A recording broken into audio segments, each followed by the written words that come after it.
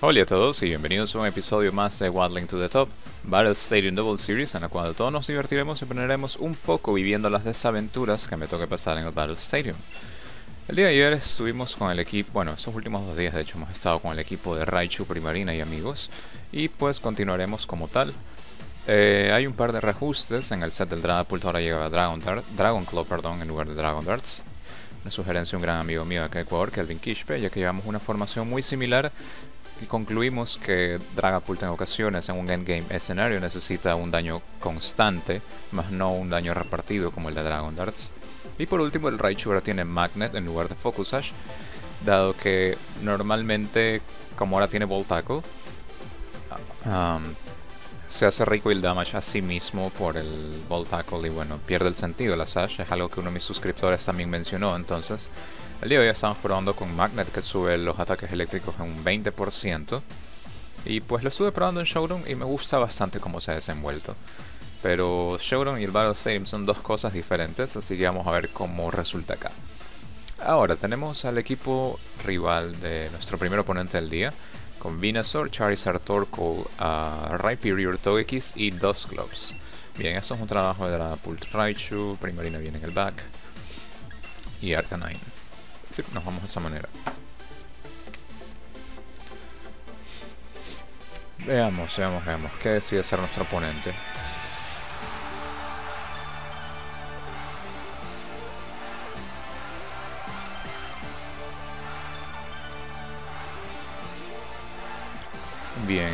Opta por abrir con... Ok, Charizard X. Ante nuestro Dragapult a Raichu. Mm.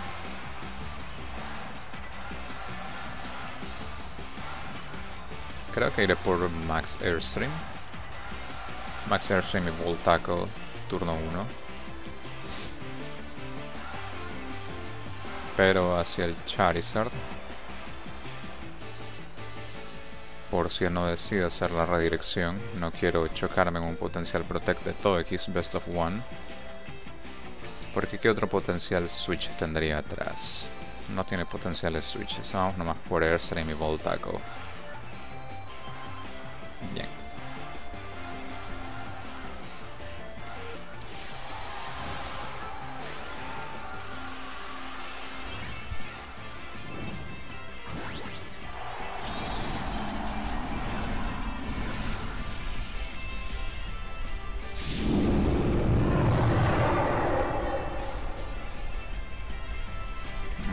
Decide maxiar turno 1. Parece que no. Va a ser Protect, ok. ¿Quién diría? El Protect con el que nos vinimos a chocar más bien es el del Charizard. Ok, hay doble Protect de hecho. Mm, bueno, es algo favorable supongo.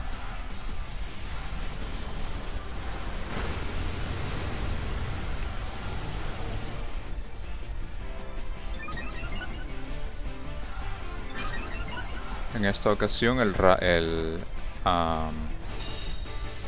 el blanco será el Togekiss. Vamos a traer, ya que tenemos el Speed Boost, no tenemos que gastar un Speed Boost en este turno, así que vamos por Phantasm y Ball Tackle en el estilo del Togekiss. Por si decide hacer un switch a algo como, no sé, Torkoal tal vez. Si es que redirige, pues igualmente el Togekiss va a caer sí o sí.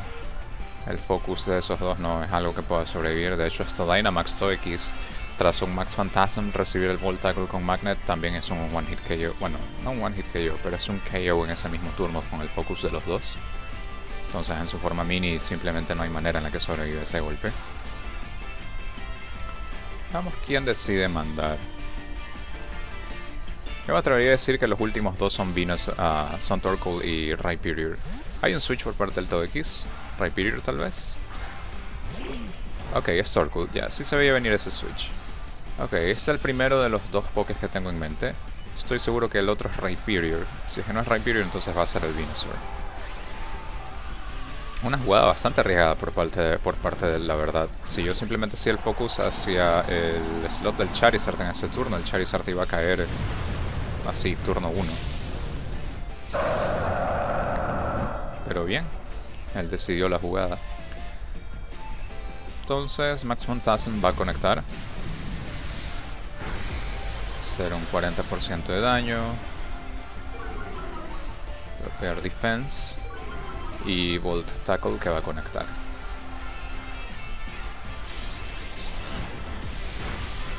Y casi, casi es un knockout. Ahora viene Max Airstream hacia el Raichu probablemente. No, de hecho hacia el Draft, ok.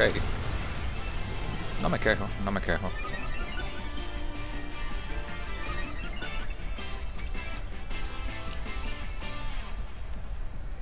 Bien, tiene damage de Life Orb y Solar Power. Ok. Vamos ahora a hacer Max Airstream a este slot. Y pues es muy probable que hagamos un... No, no vamos a ver ningún switch, de hecho. Aquí simplemente él tiene que proteger, tiene que hacer Max Guard en el Charizard y esperar a que caiga Torkoal para que entre Togekiss limpio.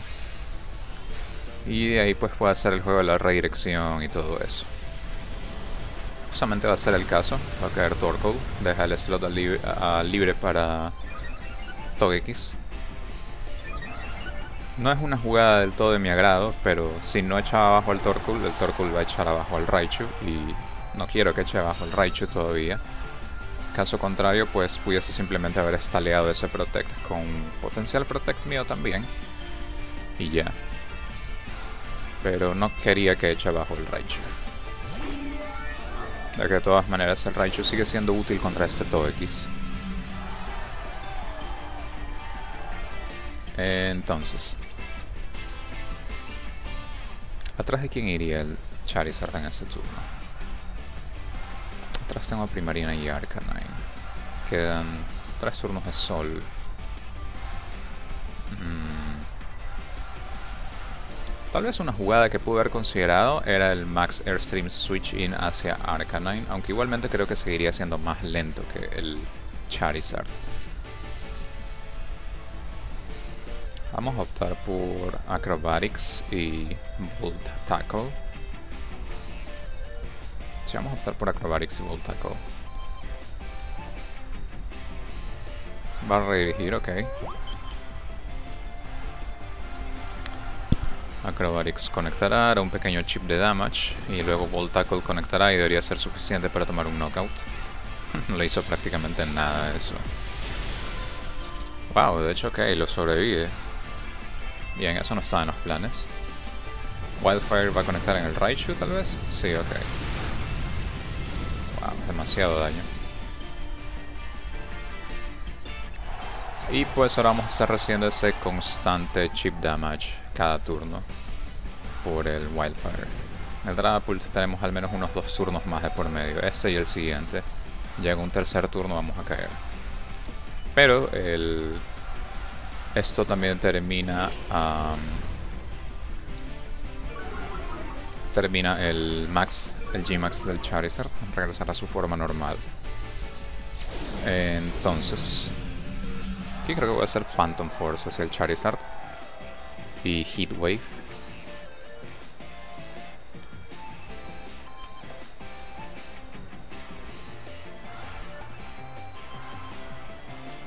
Follow me, okay. Quiero creer que nada de lo que tenga ese Charizard debería ser suficiente para tomar un knockout en el Arcanine. Quiero creer eso. Pero el poder de Charizard es demasiado bruto. Ok, Heat Wave en target, en single target, bueno, multi-target, Soul. Ya, muy bien, sí lo resiste muy bien. Entonces este Heat Wave debería ser chip damage, excelente si conecta en el, en el Charizard. Toma el knockout en el Togekiss. Solar Power Recoil.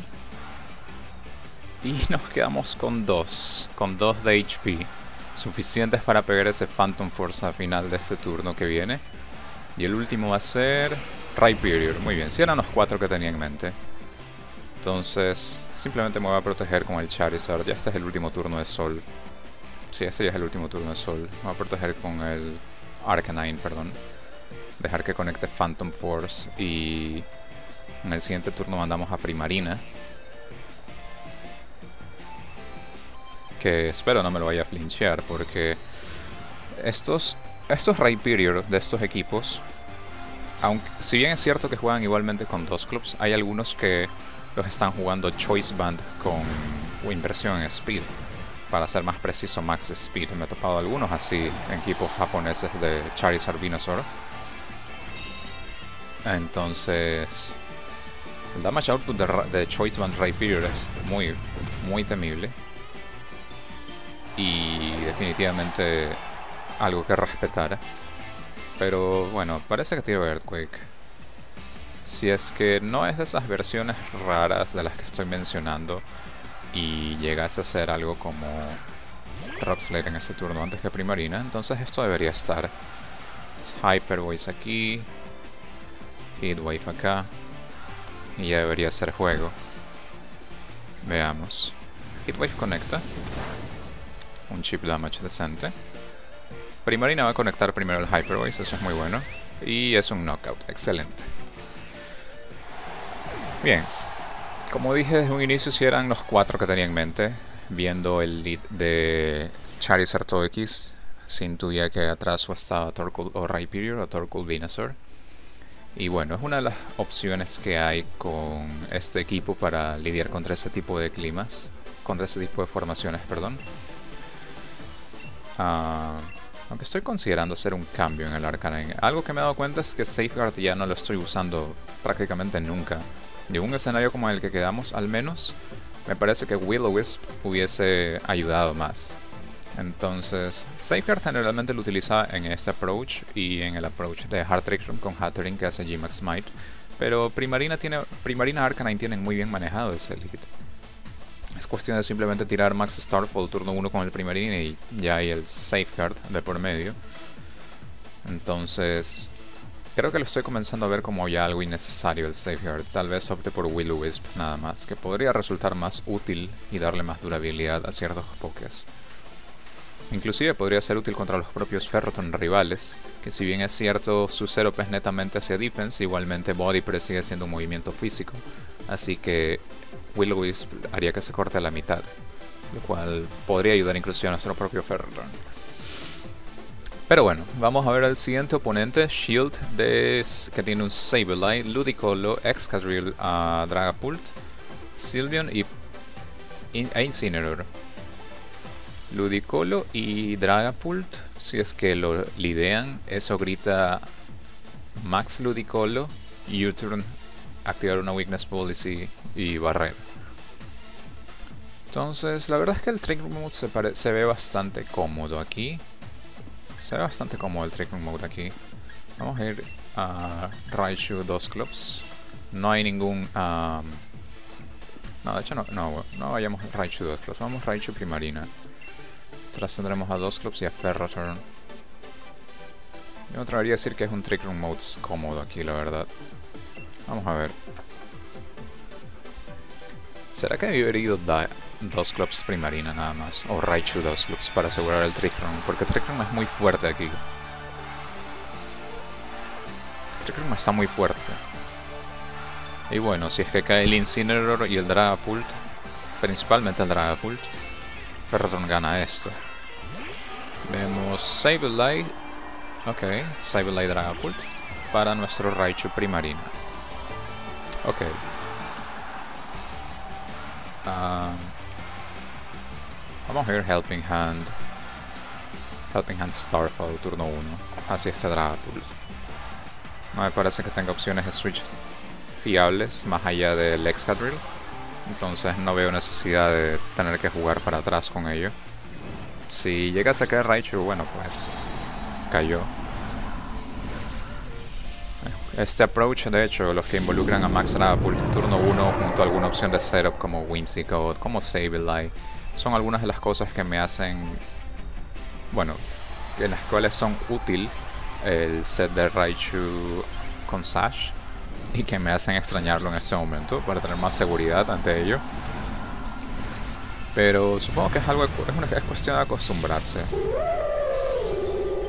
Igual y veamos qué decide hacer nuestro oponente. No estoy seguro de qué quiere hacer con el Sableye, la verdad. Ok. El Sableye irá Shadow Snake hacia el Raichu. Ok, no fue hacia el Dragapult. Entonces no va a haber una potencial Weakness Policy. Fue directo al Raichu, lo cual es grandioso, porque ese Helping Hand Starfall va a tomar un knockout sí o sí en ese Dragapult. Eso es fantástico.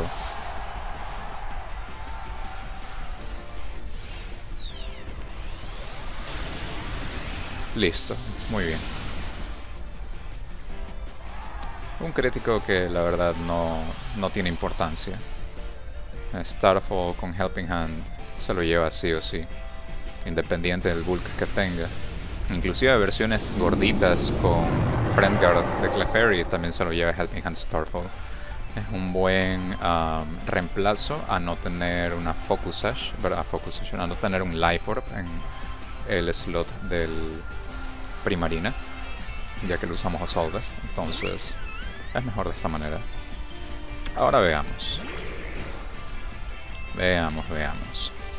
Tenemos Berry y Pixie Blade respectivamente en el Sableye y el Sylveon, ok. El Sableye debe tener Taunt. El Sableye debe tener Taunt. Y si mandó a Sylveon, ¿el último es Excadrill o es Incineroar? Y yo me atrevería a decir que es Excadrill. Entonces, vamos a hacer un focus a este Sylveon. No vamos a tirar Trick Room. No intentemos Trick Room en este turno. Vamos que si es el Sableye Taunt, ok. Si se, se veía de lejos el Taunt. Entonces, eso es Max Geyser. Entre Max Geyser y um, Nightshade debería ser más que suficiente para tomar un knockout en este Sylveon. O tal vez no, de hecho. Me parece que sí va a sobrevivir el Focus. Sí, sí va a sobrevivir el Focus. Ok. Tampoco es malo. Tampoco es malo. En ese momento entonces puedo ir por Max Geyser hacia el Sableye y optar por otro Hype uh, Nightshade en el Sylveon. Y bueno, de hecho va a cancelar el combate. Ok. Dado que lo canceló, me atrevería a decir que el último era Incineroar. Aunque igualmente si hubiese sido el caso del Excalibur apenas cayera ese Sylveon, pues... Y bueno, con el Sableye que iba a caer este turno, ya Ferroton simplemente ganaba solo contra ese Excalibur. No había absolutamente nada que le pudiese hacer. Entonces, buen juego, buen juego. Fue definitivamente la mejor opción haber ido por ese Dragapult con el Helping Hand Starfall turno 1 y ya. Es de hecho la razón por la que está ahí, como les había mencionado, el porqué del cambio del Helping Hand en el Raichu. Y bien, quedamos en un standing 428 en el episodio del día de hoy. Bueno, pues parece que ese será el final de este episodio. Les agradezco mucho por haber sintonizado una vez más. A cualquier sugerencia, comentario o algo que tengan en mente, háganmelo saber pues por medio de la caja de comentarios. Yo estoy siempre al pendiente de ello. Me gusta escucharlos y saber qué es lo que piensan al respecto de los episodios y demás el día de hoy tendré un set de exhibición con mi gran amigo Paul Ruiz, campeón mundial del 2018, en su streaming en Facebook Gaming. Le dejaré la descripción, en la descripción el link del stream. Será a las 9 de la noche, si es que no me equivoco. Así que estén atentos a ellos. Y pues, si les ha gustado el contenido de este episodio el día o de los otros anteriores, por favor, suscríbanse al canal y compártanlo con amistades que ustedes crean que les resulte interesante el contenido. Sin más, pues, ah, en estos días, tal vez el día de mañana ya de hecho, les tendré algo preparado que he estado trabajando para ustedes. Entonces, espero sea de su agrado. Naturalmente ya es el fin de semana, así que no van a haber episodios de Wilding to the Top aquí hasta el lunes. Pero como digo, este algo especial estaría si no es el sábado, es el domingo. Una vez más les agradezco mucho por el apoyo y pues nada, nos estamos viendo en el siguiente episodio o el día de mañana en el episodio especial. Se los quiere. Hasta la próxima. Bye.